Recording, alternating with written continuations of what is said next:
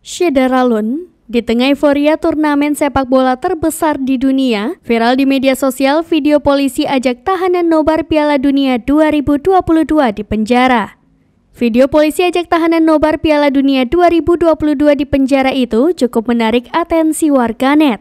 Momen polisi ajak tahanan nobar itu pun diunggah oleh salah satu pemilik akun TikTok @gus14r pada Selasa 22 November 2022. Dalam unggahan itu, tampak sebuah laptop yang diletakkan di atas sebuah kursi. Laptop tersebut menampilkan tayangan pertandingan Senegal versus Belanda yang berlangsung pada Senin 21 November 2022. Dari balik jeruji besi tampak sekelompok tahanan pria yang sedang menyaksikan pertandingan sepak bola itu sambil duduk di lantai. Tak seperti orang di luar sana yang bisa mengenakan jersey tim kebanggaannya ketika sedang nobar, para tahanan tersebut hanya berpenampilan seadanya. Mereka hanya mengenakan pakaian santai sehari-hari berupa kaos dan celana pendek. Bahkan ada yang hanya mengenakan celana pendek namun bertelanjang dada.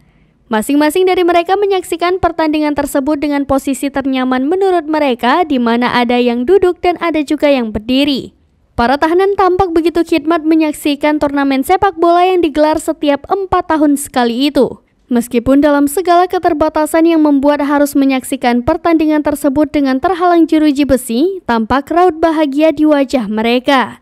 Terdapat sepiring gorengan di tengah-tengah mereka sebagai cemilan yang menemani sesi nobar itu. Unggahan ini pun menuai beragam komentar dari warganet. Ada yang salut dengan kebaikan polisi yang telah mengajak para tahanan untuk tetap menikmati euforia Piala Dunia 2022.